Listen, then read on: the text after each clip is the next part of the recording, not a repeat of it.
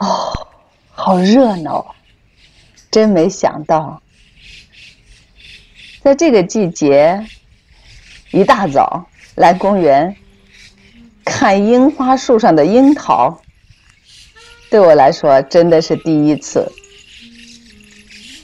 今年呀，发现了很多以往不知道的事情，真的是观察了不少从来没有留心注意到的一些身边的人和事，包括这樱花树。樱花树呀，在日本那是到处都是，一排排，一列列。樱花盛开的时候，那种美景是众所周知的。那么，樱花开过，长出叶子，在炎热的夏日，围成一个一个的绿色的隧道，走在那清凉惬意的林荫大道中，那种舒心啊！我前几天拍了一个视频。有朋友问我说：“那树上有没有樱桃啊？”要在往年您问我呀，我真不知道。今年我真的是观察到了，所以我今天呢，又趁着这樱桃熟了的季节呀，起了个大早，到公园呀，把这樱桃熟了的景象啊拍下来，分享给朋友。也许很多人都觉得，日本那么多的樱花树，一定有很多很多的樱桃。当然，樱花树呀，观赏的樱花呀，和结那个吃的那水果的樱桃的樱花树呀，那不是一个品种。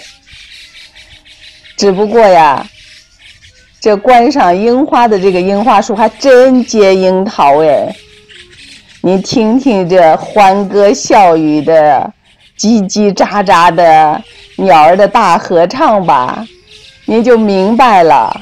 在这樱桃熟了的季节呀，一大早呀，鸟儿们都来赶早市来了。所谓的。早起的鸟儿有食吃，吃不完哎！那树下呀掉的都是哎。今天是六月八号，走在这凉爽的樱花树下，阳光透过树冠。照在那一颗颗黑的、红的、紫的、绿的小小的樱桃上，真的非常可爱动人。朋友，您不觉得那小小的鸟儿和这小小的樱桃是一个特别和谐的真美吧？大自然真的是不可思议。一大早的公园，鸟儿们赶早市，叽叽喳喳的，热热闹闹的，在吃那小小的可爱的樱桃。远处树林里传来人们。练习吹奏的乐声，这吹奏的音乐与小鸟们的大合唱，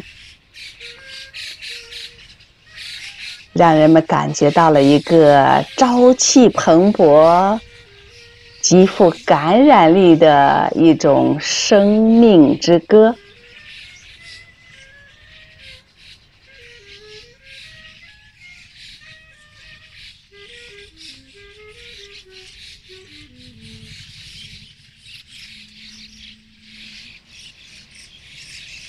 我的眼睛追逐着那一群群小鸟跳来跳去的身影，我的耳朵追寻着那些遥远的吹奏乐声，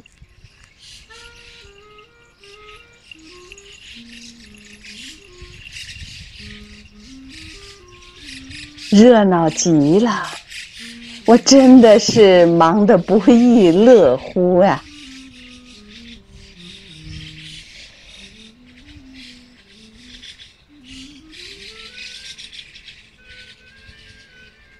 塞翁失马，焉知非福。二零二零年有很多很多的不便，有很多很多的困难，但也给予我们很多很多学习、开眼界的机会。停下脚步，慢慢的做一些我们以往忽视的，也可能很有意义的。让我们重新去发现，重新去思考过往的生活，给予了我们一个冷静思考、纠错的机会吧。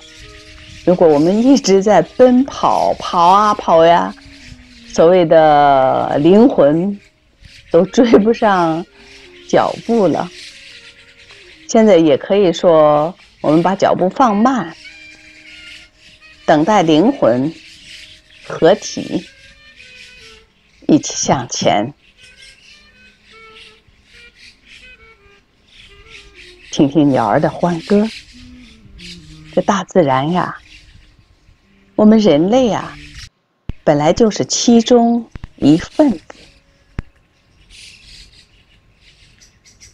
我没见过自然的樱桃是什么样子的，我们只看见过专门为我们人类满足食欲所培养出来的各种各种嗯技术造就的又美味又大又嗯观又有观赏性的水果。而这个供观赏樱花的这种树结出来的樱桃呀，又是这么的小，不知道原来那种完全野生的樱花树呀，它会结出什么样的樱桃来？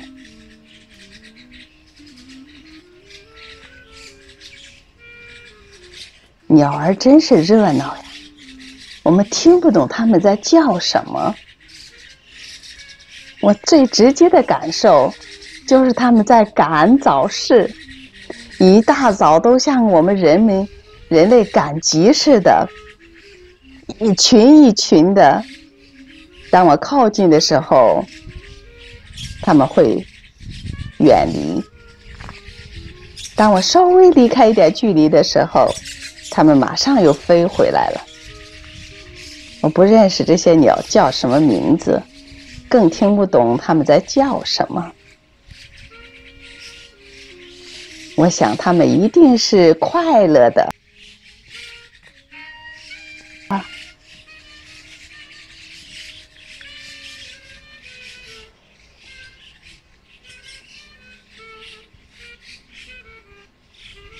鸟儿快乐，忙碌的欢歌。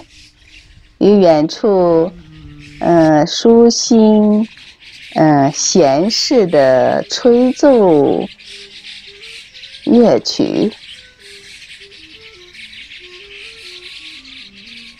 让人们感觉到一个美丽的清晨，一个舒心的气氛。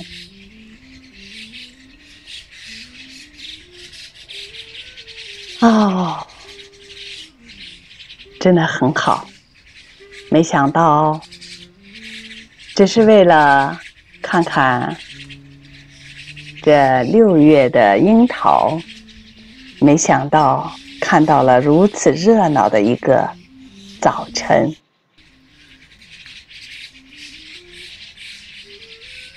小鸟好快乐呀！